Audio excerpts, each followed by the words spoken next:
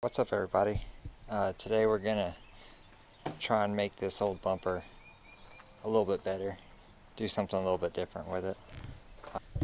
I'm gonna be using some spray adhesive, some old comic books, and some super glaze gloss epoxy. I'm gonna put the, the comic books on the bumper and then coat it in this. So really all you gotta do is just make sure the surface is clean. And then uh, just put some of the spray adhesive on the back side and just glue it in, glue it in wherever wherever you need.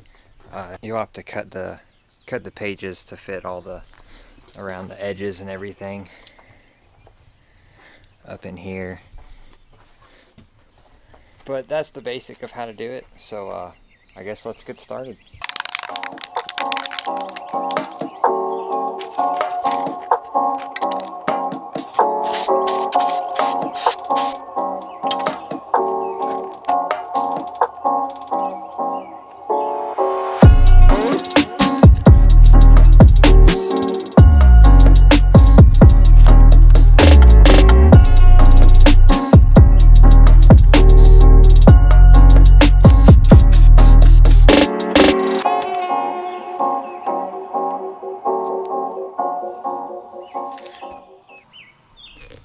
So the uh, the smaller you cut up the pages, the nicer you can get it to lay. Um, I'm not going to focus too much on getting every single little crease out. I'm just going to try and get it covered and get the epoxy on there and see how this is going to work out.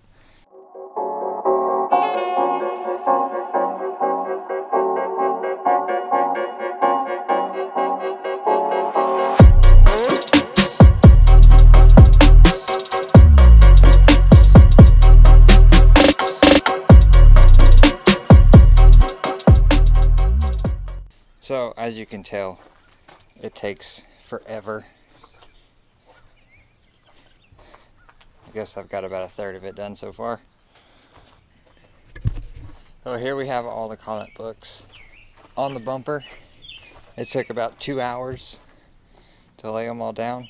Um, I did end up cutting out pretty much every little uh, square because it was uh, having trouble going around all the curves and everything. Takes a little bit more time, but uh, it lays down a little bit better.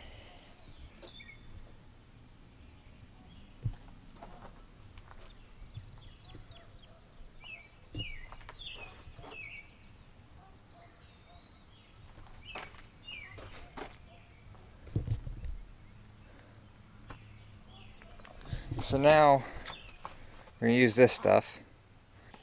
I'm gonna get this mixed up and uh, we'll start coating the bumper. Got my mixture all made up. So now from here we'll just pour it on.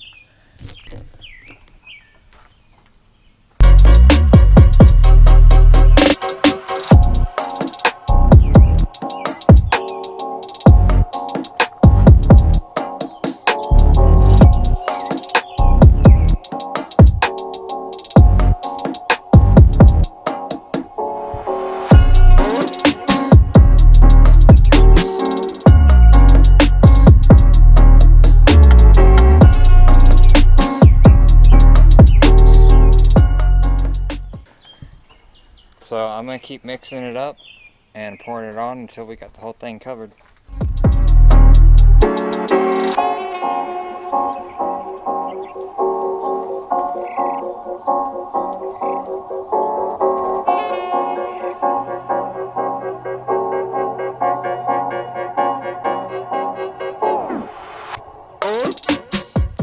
So a, uh, a plastic knife is not what you're supposed to use to spread this stuff around.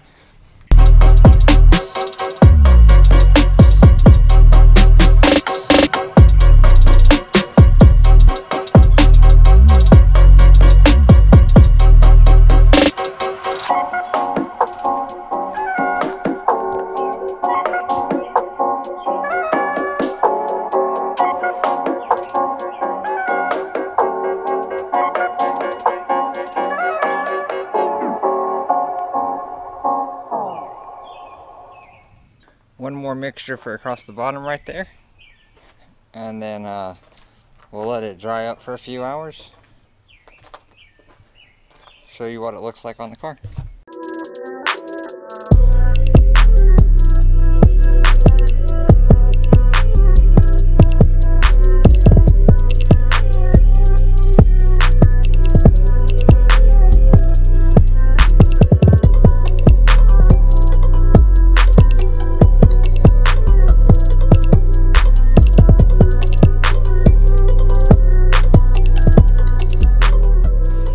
That's going to be all for this week. I uh, hope y'all like this little DIY video. But thanks for watching. Y'all have a good one. We'll see you next week. Peace.